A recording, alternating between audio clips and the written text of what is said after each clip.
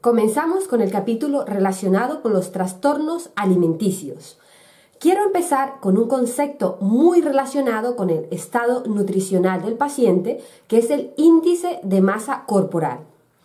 El índice de masa corporal es la proporción entre el peso y el cuadrado de la altura del individuo.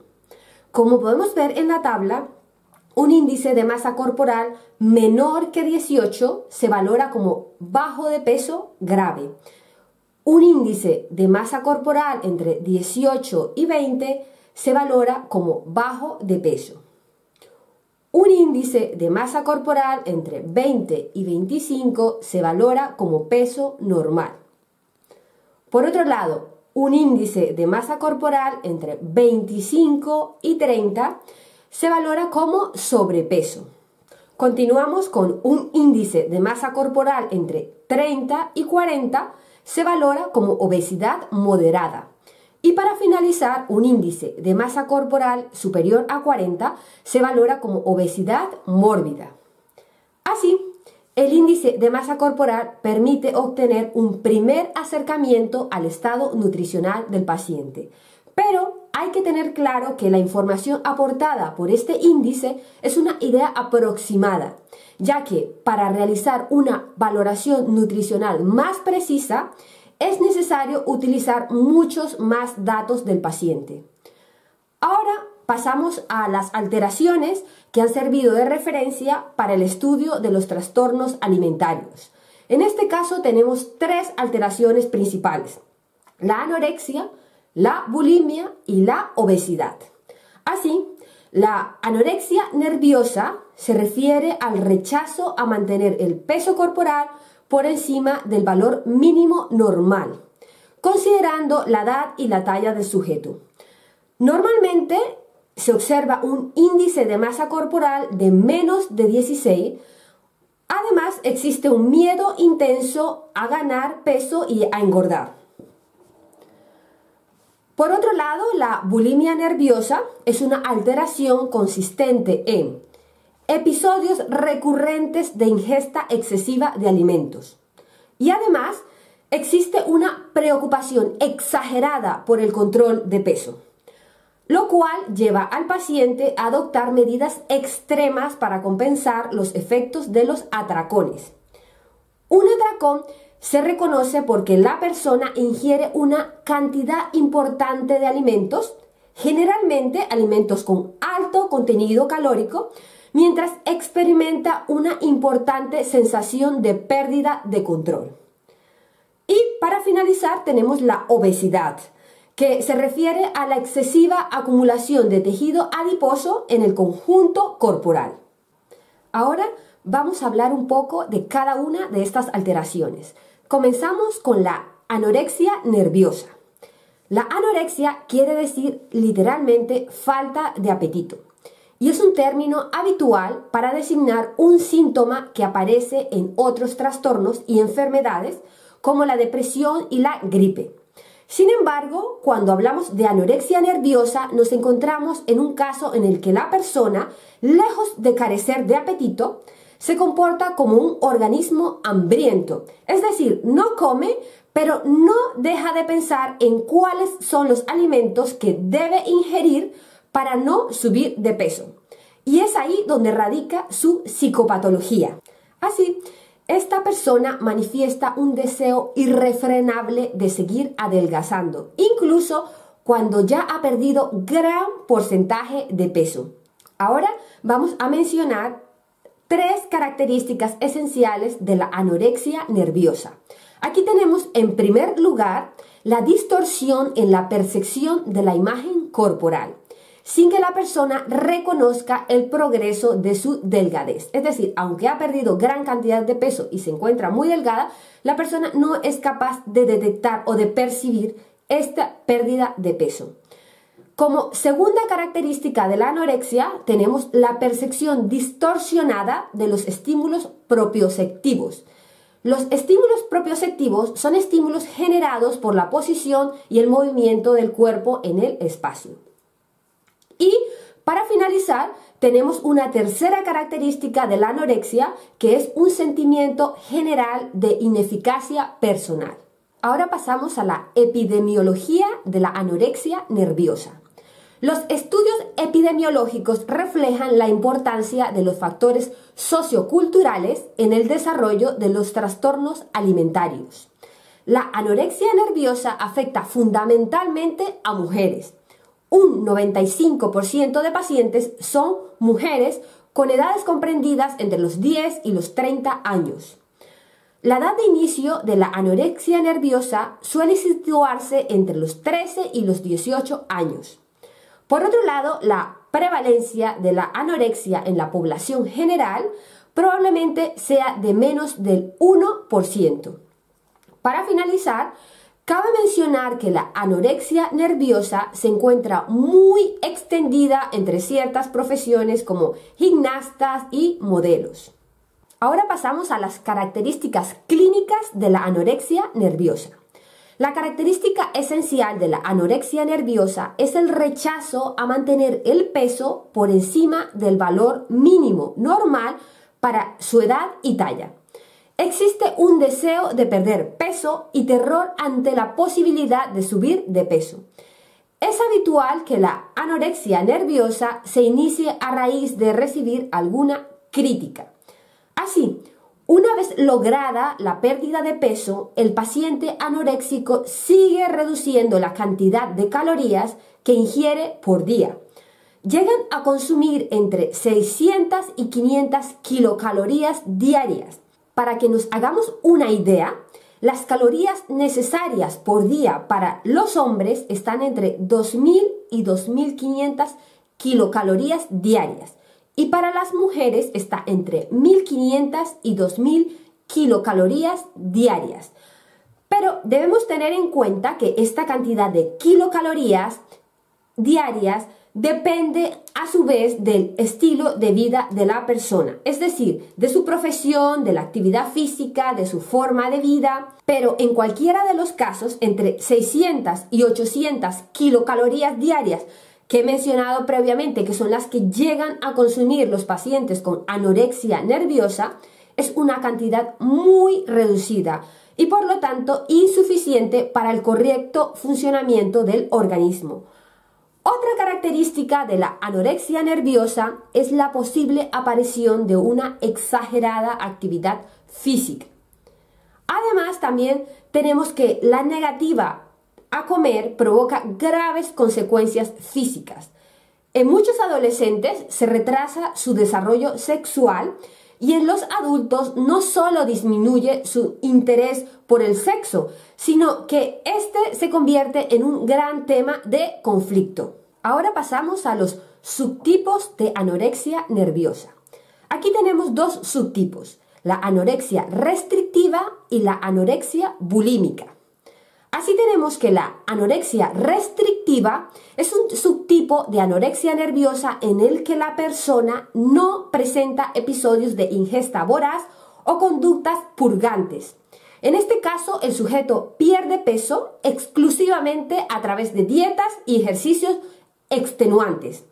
La anorexia restrictiva se caracteriza por un mayor perfeccionamiento, rigidez, hiperresponsabilidad y sentimientos de ineficacia. Por otro lado, la anorexia bulímica o también denominada eh, anorexia purgadora, en este caso el sujeto presenta episodios de atracones, seguidos normalmente por vómitos autoinducidos o el abuso de laxantes.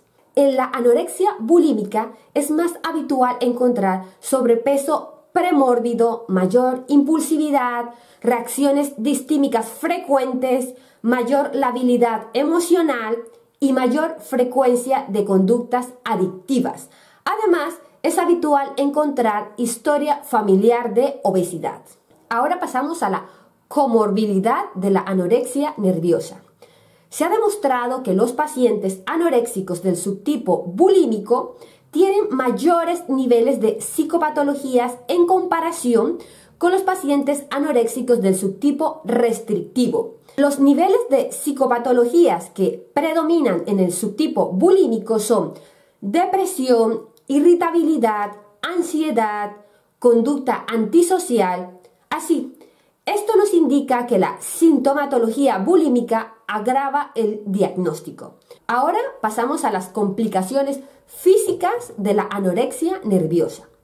Aquí tenemos que los efectos de la demacración a causa de la anorexia nerviosa se manifiestan en una amplia gama de signos como hipotermia, bradicardia, hipotensión, estreñimiento, amenorrea, es decir, la supresión del flujo menstrual. Aquí quiero mencionar que la mayoría de características patofisiológicas desaparecen a medida que se recupera el peso normal del individuo. Continuamos con la evolución y pronóstico de la anorexia nerviosa. La anorexia tiene un curso crónico y se acompaña de una serie de complicaciones adicionales, tanto de comorbilidad como de mortalidad.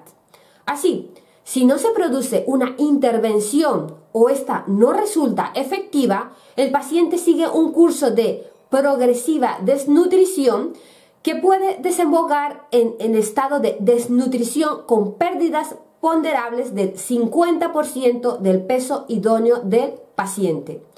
Los estudios también señalan que aunque se consiga la estabilización del peso, los pacientes siguen presentando una psicopatología considerable en torno a la preocupación con el peso y las formas corporales, con lo que es posible seguir encontrando ciertos patrones anómalos de alimentación a pesar de haber eh, producido una intervención en este paciente.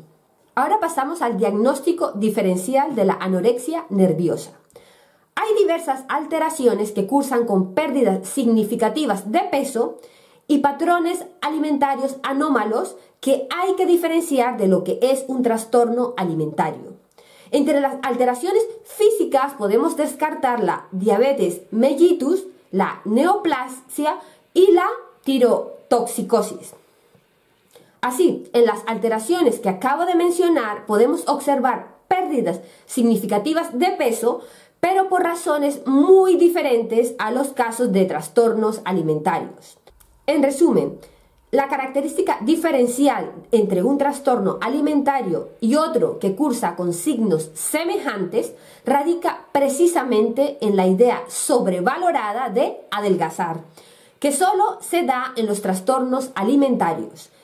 Por este motivo y con el fin de diferenciar lo que es un trastorno alimentario de lo que no lo es, en la evaluación del paciente es esencial averiguar la motivación que hay detrás de la pérdida de peso y de los patrones anómalos de alimentación.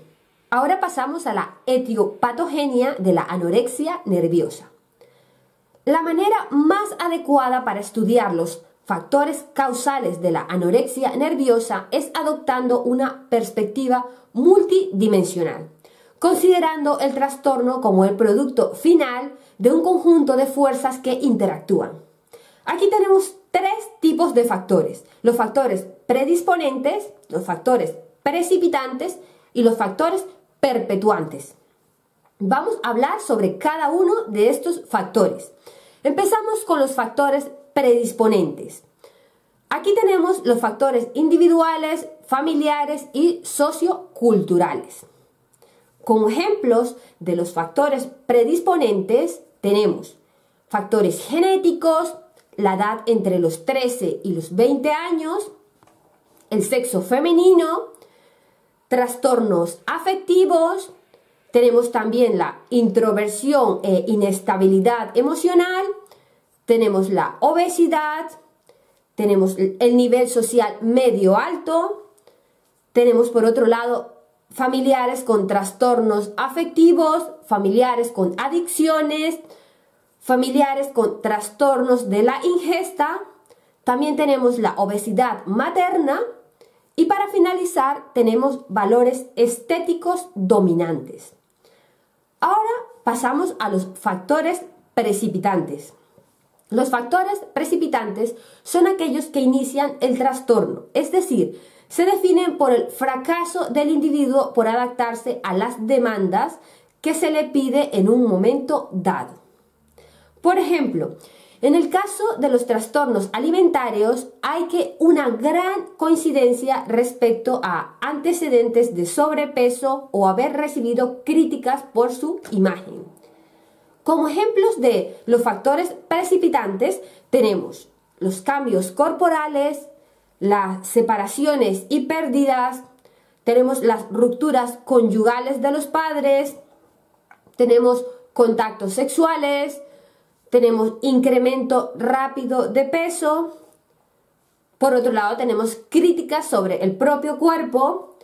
También tenemos enfermedades de adelgazamiento. Tenemos traumatismo desfigurador. Tenemos un incremento en la actividad física. Y para finalizar, tenemos acontecimientos vitales. Y para finalizar con los factores causales de la anorexia nerviosa, tenemos los factores perpetuantes. Los factores perpetuantes explican la autoperpetuación del cuadro, debido fundamentalmente a las consecuencias físicas y psicológicas derivadas de la psicopatología del trastorno alimentario. Por ejemplo, entre los factores perpetuantes tenemos consecuencias de la inanición, interacción familiar, aislamiento social, Cogniciones anoréxicas, actividad física excesiva, iatrogenia, que se refiere a las alteraciones eh, del estado del paciente producidas por el médico. Por lo general eh, se produce o se refiere a una alteración negativa. Aquí quiero comentar que no hay que confundir la iatrogenia con la negligencia ya que la iatrogenia es algo inherente a la profesión médica, puesto que toda acción médica puede producir un efecto que puede ser en parte negativo para la salud del paciente. Ahora pasamos a la bulimia nerviosa. La etimología del vocablo bulimia proviene de las raíces griegas y su significado es hambre desmesurada. En el ámbito clínico se aplica el término bulimia aquellos episodios caracterizados por una necesidad imperiosa e irrefrenable de ingerir grandes cantidades de comida, generalmente de elevado contenido calórico. Como consecuencia de esta situación, la persona se ve invadida por fuertes sentimientos de autorrepulsa y culpa y tiene la necesidad de mitigar los efectos de la orgía con conductas como autoinducirse el vómito.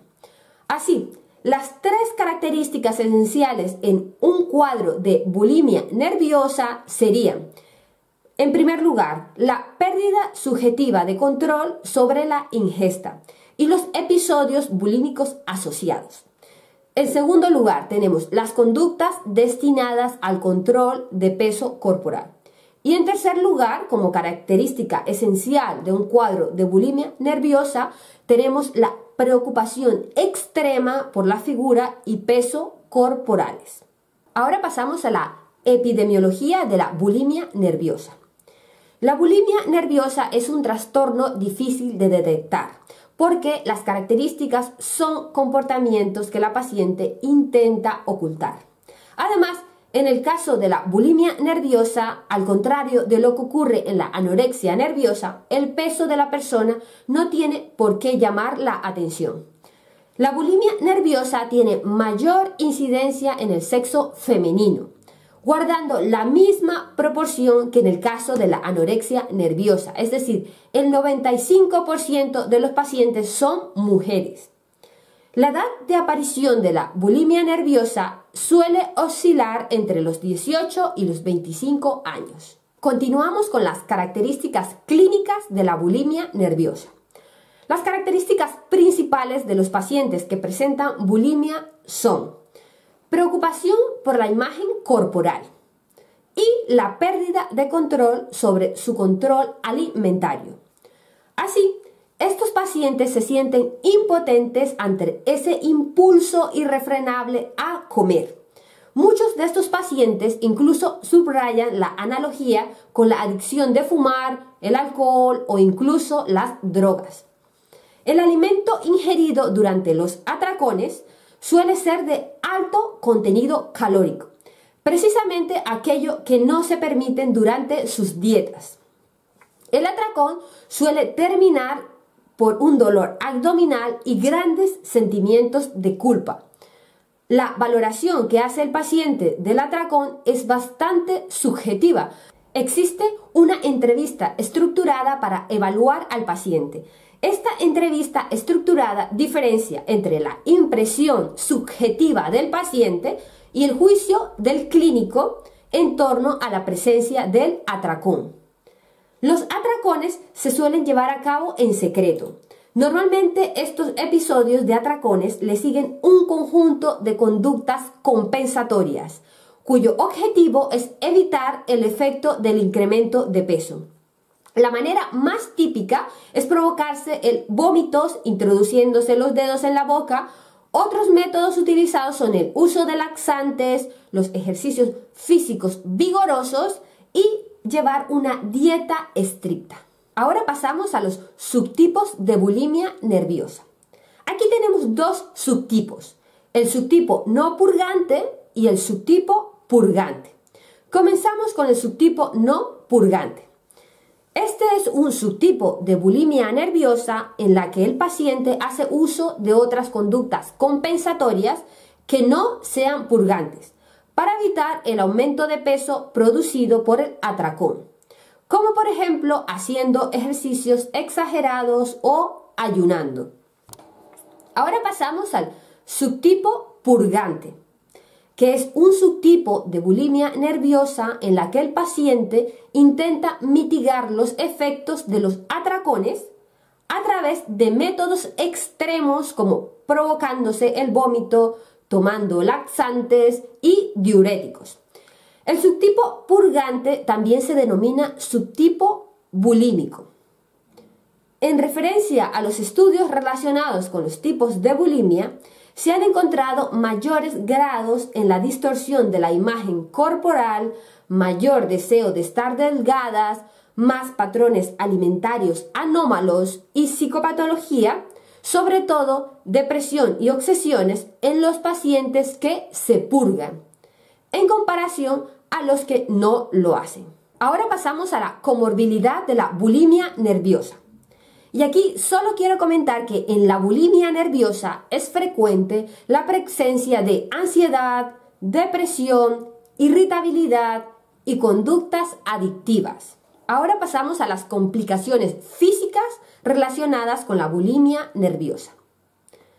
Debido al continuo desajuste provocado por los patrones de alimentación, vómitos y el uso de laxantes, los pacientes bulímicos sufren una amplia gama de complicaciones físicas, tales como la disminución de los niveles de potasio, la hipertrofia de la glándula parótida a consecuencia del desequilibrio electrolítico, también pueden presentar hipocalemia, infecciones urinarias, arritmias cardíacas, a largo plazo pueden producir daños a nivel renal, e irregularidades menstruales, los laxantes también pueden provocar estreñimiento.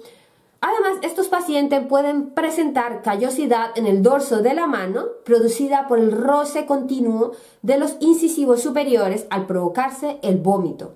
Otras de las repercusiones que tiene el vómito es provocar la erosión del esmalte dental y producir caries. Ahora continuamos con la evolución y pronóstico de la bulimia nerviosa. Los estudios a corto plazo ponen de manifiesto que el 40% de los pacientes permanecen sintomáticos crónicamente y entre el 40 y 60% de pacientes tratados con diversos métodos recaen en el seguimiento. Sin embargo, hay poca proporción de mortalidad, tanto en lo que se refiere a las consecuencias físicas del trastorno como refiriéndonos a los suicidios. Otros factores que agravan el cuadro de bulimia son características de personalidad, una personalidad impulsiva, el uso y abuso de sustancias, una mayor presencia de conductas autolesivas y para finalizar vamos a mencionar la historia de alcoholismo en la familia. Ahora pasamos a la etiopatogenia de la bulimia nerviosa. Como en el caso de la anorexia nerviosa, el énfasis cultural de la delgadez está igualmente jugando un papel muy importante. Y estas pacientes indican como antecedentes del desarrollo del trastorno una gran insatisfacción con su cuerpo. A partir de los estudios epidemiológicos se han observado al menos dos factores relevantes en la historia de la bulimia. En primer lugar tenemos la predisposición a engordar y a hacer dietas. Y en segundo lugar tenemos una historia de trastornos afectivos.